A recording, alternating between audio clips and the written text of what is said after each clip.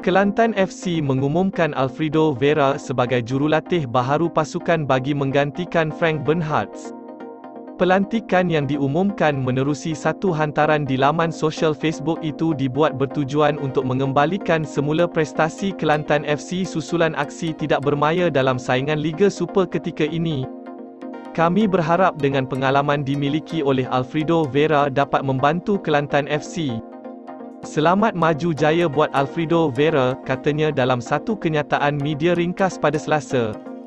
Menurut kenyataan itu lagi, Alfredo Vera yang berasal dari Argentina mempunyai pengalaman melatih beberapa kelab divisyen utama dan kedua dalam saingan Liga Indonesia.